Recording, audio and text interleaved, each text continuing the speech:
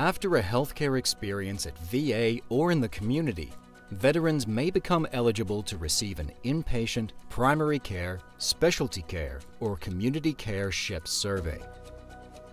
In total, the SHEP program sends out over 1.8 million surveys each year. Each step on the journey of a SHEP survey, from mailing to analysis to reporting, is systematically designed to provide robust, reliable, and representative results for your facility. So, what does the journey of a SHEP survey look like? The first step in this journey is to determine if a veteran with a recent care experience is eligible to receive a SHEP survey.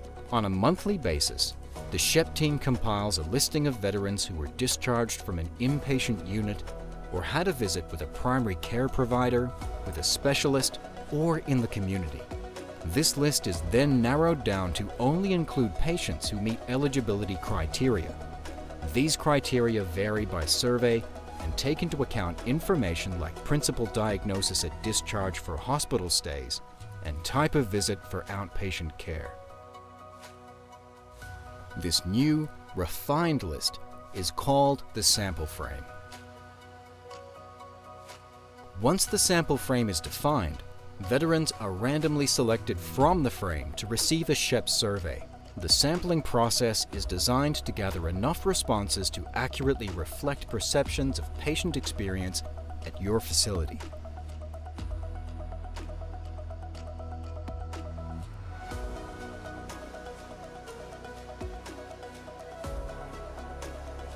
Veterans who have been sampled are first contacted two to six weeks after their healthcare encounter.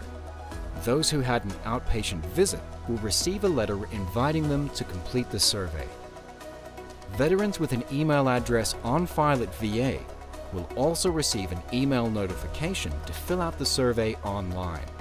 Those who had an inpatient stay will receive the survey by mail only. This is done to conform to guidelines for publicly reported data established by the Centers for Medicare and Medicaid Services.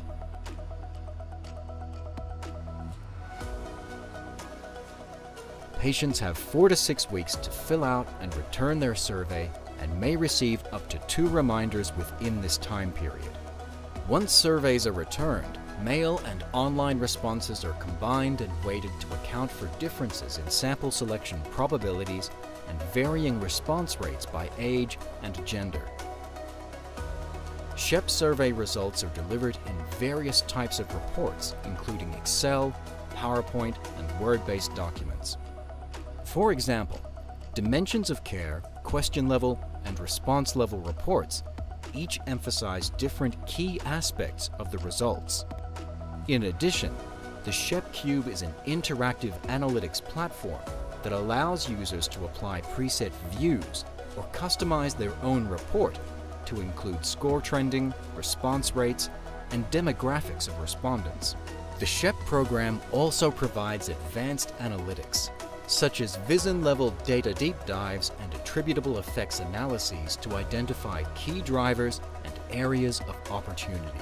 All of this is available on the SHEP website, and SHEP reporting is periodically updated to fit the needs of those using the data. Delivering patient experience results into the hands of VA staff marks the end of a SHEP survey's journey. But is just the beginning of improving the experience of veterans at your facility. The SHEP survey process is carried out with such attention to detail to ensure reliable and valid results. This means that facility leaders, providers, and staff can rely on SHEP data as the basis for improvement in service of VA's commitment to provide high quality care for veterans.